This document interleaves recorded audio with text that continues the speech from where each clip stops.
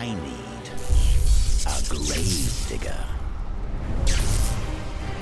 Hi, Zizaran here with another league starter for the upcoming 324 Necropolis League. And this, you might have guessed it, it is Detonate Dead. This is a collab with ImExile, who has made a guide for what is most likely the strongest starter of this league. This is Detonate Dead of Chaining. It's incredibly strong. This is something we see often in events like Gauntlet when they're not banned. We see this very often for pushing for early Ubers. It is a very hardcore focused build. It's incredibly tanky, crazy clear speed if you do want to rush to level 100. Not without downsides though, because, you know, it is a two button skill. You will have to do Desecrate and DD, etc. So that comes with some heartache. But as we do with our collabs, we are going to start with having Exile explain a little bit about how the build plays, and then a segment on how different it is in bossing. If this build guide helps you have a great league start, please consider subscribing. It helps me and my team out a lot. Hey guys, what can I say? Another league, another Detonate Dead build. At least this time around, we're going to be using the transfigured version on a Necromancer for a more hit-based playstyle. So essentially the way that this Transfigure gem works is you will cast your Desecrate and then when you cast Detonate Dead, it essentially works very similarly to Ball Detonate Dead, except we can spam it. So we're spamming it uh, over and over to create like a big chaining Detonate Corpses kind of effect. Um, it is a two button build, so you're going to go through the map and cast Desecrate and cast Detonate Dead pretty much every pack. Um, you do press the two buttons a lot, so if you're not a fan of uh, two button builds, I would highly suggest looking elsewhere because you're you're going to be pressing Desecrate a lot, you're going to be pressing Detonate Dead a lot. Uh, that's just how the build works. Um, I will say, the fact that it does leave a nice lingering effect behind makes it so clearing is uh, a lot easier because it's blowing up some corpses behind you. And thanks to thanks to a trigger weapon, our curses are automated and our offering is automated. Until you have that, you, you are pressing a bit more buttons. But you should be able to get an offering weapon pretty early on in maps. And then uh, and then you won't have to worry about that stuff. And we are also pressing our haste aura every 15-16 seconds or so, just to maintain the uptime on that. I did want to put in a Hydra map so you guys could get a little bit of an idea of what a Guardian rotation may or may not look like. Uh, if you did one. I just Alkin Goad this. On actual boss bossing, we use an Arcanist brand to cast our Desecrate, but you don't really want to swap that in every boss and map, so for this kind of boss, we're just casting Desecrate and Detonate Dead, alternating between the two buttons, just kind of spamming them over and over again uh, until the boss starts. And we're pretty tanky, so we can stand in a lot of things and not have to worry about it, and just continue casting. And boss time. Does have a little bit of a ramp-up effect to get the corpse explosions going, to get the cast speed going, but uh, it does gets the job done. And uh, yeah, that's now we get to the bossing portion. So the big thing we want to change out here is we want to add Arcanist brand in our Desecrate links. Normally this would be a 4 link. And then we also want to swap out our Grace. You want your Grace gem to have a white socket, and then you can swap it out for, you know, Purity of Fire, Purity of Ice, Purity of Lightning, for whichever boss fight you're doing, uh, so that you can get a bit more defense. Um, so essentially the playstyle becomes, we no longer cast the Desecrate, our brand does, so we apply a brand every 4 seconds. And other than that, we just try to press right click as much as we can to get a bunch of damage out. And yeah, so I'll show you guys the start of an Uber Shaper here. Um, we do want to maintain our uptime on our Scorch from boots as much as we can. This is a hard fight to, you know, maintain a lot of uptime. But luckily for us, we can tank the balls pretty easily, especially when we have Molten Shell up. So we're going to try to use that to our advantage when he casts that to get as much damage as possible. We can't tank the slam, unfortunately. That just kind of is what it is. Um, for our multi-hit defense, we have Bone Offering, um, we have Molten Shell, uh, we are using Defiance of Destiny, so we have pretty good multi-hit defense versus stuff like this. Degen, we have Lethe Shade. Um, we're not going to really be able to like stand in Shaper Beam or anything, nothing crazy, but now we're waiting for him to cast balls, ideally, and then we're just going to hold right-click. This is a decent spot to do it. It's a hard fight to maintain like really, really good uptime.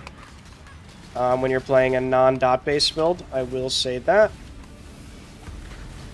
Anytime he does a beam, you can just put the brand up, detonate dead.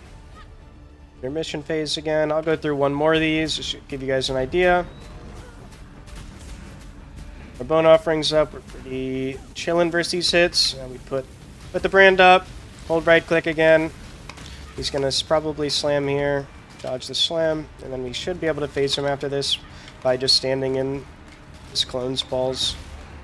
Not really managing the degens well, but that's just one phase, just to give you an example. So as you can see, the playstyle is not as good as Ignite, but it still gets the job done, especially if you're tanky enough to stand still and hold right click.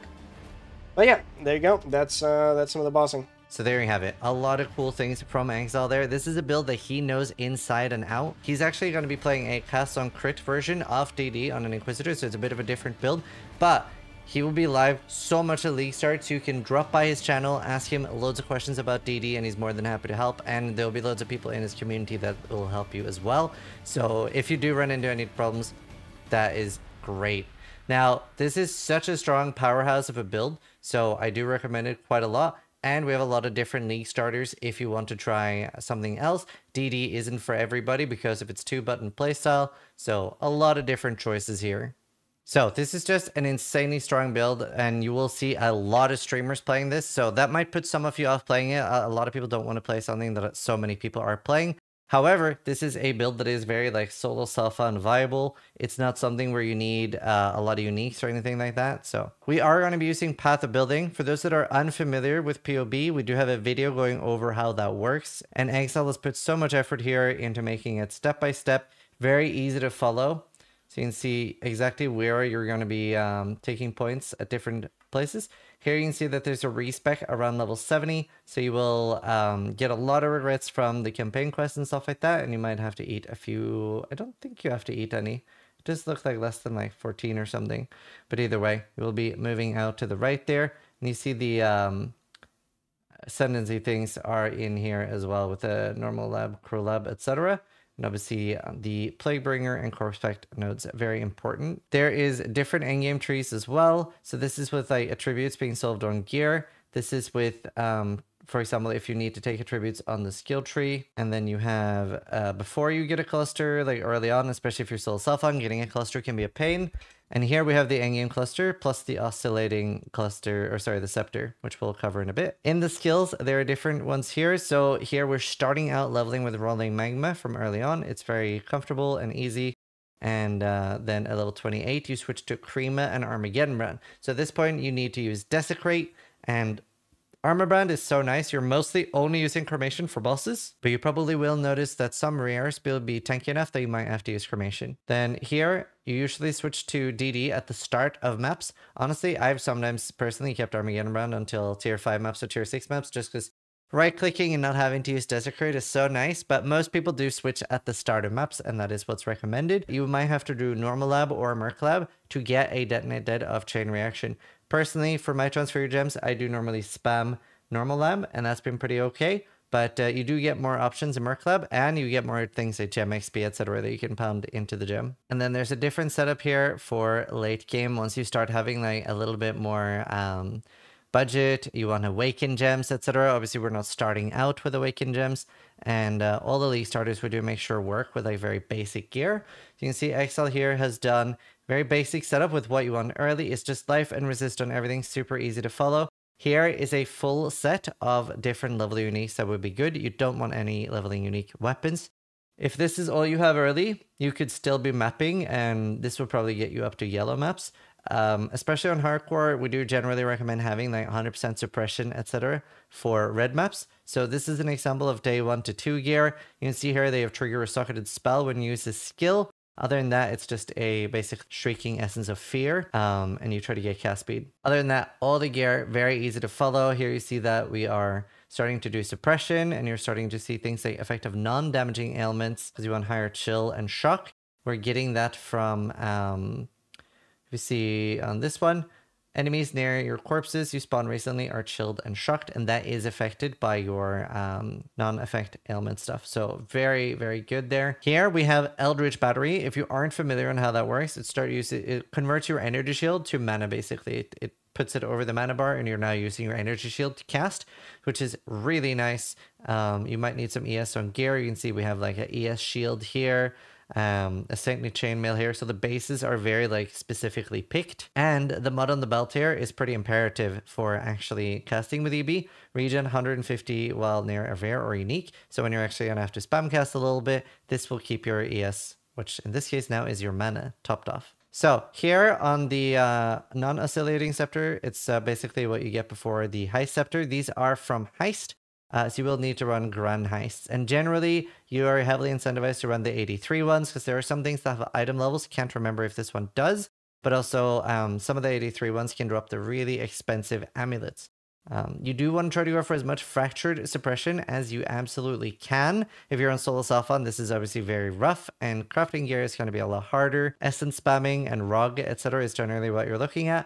But you very likely will not be able to get tier 1 suppression on everything. Here we see the full endgame setup, and with everything and uh, everything in like the endgame area, this is fairly uh, decent investment. You do have 10 million damage. DD, obviously not a build that's known for its insane amount of damage, but he gets access to so many different levels of tank.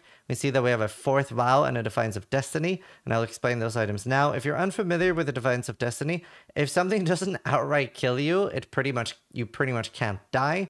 Um, lastly, you might have seen people were face tanking like thousands of monsters using in Defiance of Destiny, and that's because anything that basically, unless it two shots you with like really, really big hits or one shots you, it is almost impossible to die with this amulet because you start gaining 39% of missing unrestored life before being hit by an enemy. So if you're missing life and you're about to take a hit, it heals you as you're about to take that damage. So this is insanely strong. Um, definitely one of the strongest items in the game. We don't know or think that they've changed the rarity of this item yet, so it does end up being expensive, but not like priceless. Fourth Vow, a little bit more common, and the way this works is armor also applies to chaos damage taken from hits. Now, this is very strong because we're using an item called Glorious Vanity. And what that does is it turns this into Divine Flesh. Um, Divine Flesh is all damage taken bypasses Energy Shield. We don't care about that anyway because we're using Eldritch Battery, and 50% of your Ela damage is taken as Chaos and plus 5 maximum Chaos Rest. So you can see here that we have 80% Chaos. Now there's a few reasons why this is good. Obviously we're now taking half of our elemental damage uh, against armor, and since it's half, like a smaller amount is good for armor because armor is, the smaller the number, the better armor is. So it's sort of like doubly good. We also obviously have the 80% chaos rest instead of 75. Now, another really good thing about Fourth Vow and using the Glorious Vanity of Xibaqua is that if anything penetrates, it penetrates against that resist. So let's take the Shaper Balls for example. This will offer an insane amount of protection because you're no longer taking the full amount of damage on just cold. A lot of the damage will be taken as chaos as well, and the cold penetration can't do any extra damage to the chaos. Very strong for stuff like that. Other than that, Watcher's Eye, very strong. We do want physical damage reduction. That is a little bit of a weak point of the build. So getting that would be huge. Just having it for as well obviously makes like any chaos damage from hits so much less scary. So like red altars and stuff like that with, uh, you know, being able to take phys as extra chaos becomes a lot less scary when um, you do have this. It's still a scary mod though but uh, a lot less scary. So chaos damage should be a lot less of an issue. You can see here that your chaos max hit is 80,000. Your LA max hit is 57, and your phys max hit is only 26. I can't remember if Molten Shell is on here. It is not. So very tanky build. Definitely just an insane starter. There's a reason you hear so many streamers say they're going to play to set themselves up for a good league. Energized armor is really strong here. Obviously, we don't need, for example, the uh, increased energy shield here. And what that does, it does give you 20% increased armor, but also it will, um, like, this will be um, a lot more armor. So it, it's applied as armor at 200% of their value. And you can see here in the build that we have 50,000 armor. And even just taking out this, like, it is giving you 12,000 armor just from that one jewel slot. So quite nice, quite a lot of armor, and that will really, really help for the Fourth Vow and that interaction. Now, another thing that Exile did for the crafting is you can hover over the items and literally pay attention to the name of the item. That's not what it's called. This is basically crafting tips for each piece. Exile also did a really good job putting loads of information in the notes. So if you check this out, loads of frequently asked questions, And obviously, lately, there's been a lot of questions about specters and how that works. So, Exile, I see here that there's several specters listed. Can you walk us through how do we use specters in this build? So having specters is important for this build because it dilutes your pool with higher HP corpses, which makes your your detonate dead deal more damage. So initially, we start by having one specter. So you put in like a level one raised specter gem, and you get a Kitava Herald from Act 10, and then all you have to do is raise it as a specter, uh, and then and then remove the gem, and you're good. I usually press desecrate in my head out just to make sure. Um, and then later down the line, when you can get the uniques that allow you to raise your specter limit, you want to move up to five specters, so that further dilutes the corpse pool with higher HP corpses, which allow you to deal um, deal more damage. Another thing that is important is you do need to have a level to desecrate, so the corpses actually have a good level as well. Uh, so early on, when you're moving into your early map progression, you really want to make sure you have enough energy shield to not only cast your divine blessing, but to be casting your uh, because you're spamming desecrate and detonate dead. You really need a lot of ES to keep that going. I'd say you want between like 700, 800. Uh, to feel comfortable. So you really want to wear like an armor energy shield base as soon as possible. And potentially even crafting energy shield on some of your pieces, maybe your body armor or, or a ring or something, just to get enough energy shield for it to feel comfortable. And then eventually you can get a, you can either find or buy a belt with uh, unveiled regen energy shield when a rare unique is nearby, uh, which helps on, on bosses, especially where you're really spamming. Awesome. So I hope you guys enjoy the collab with ImExile. Such a great content creator, definitely one of the best players in Path of Exile, and really good at builds. So you know you're getting a good build. I hope you guys like these collabs. Make sure you give him a little love. Check him out at launch. He's going to be streaming all the time. And probably by the time you're watching this, he might be in maps already in tier 16s. Who knows? It's crazy. So go check it out. Thank you guys so much for watching. Sub if you liked the video. But more importantly, try to die less than I do.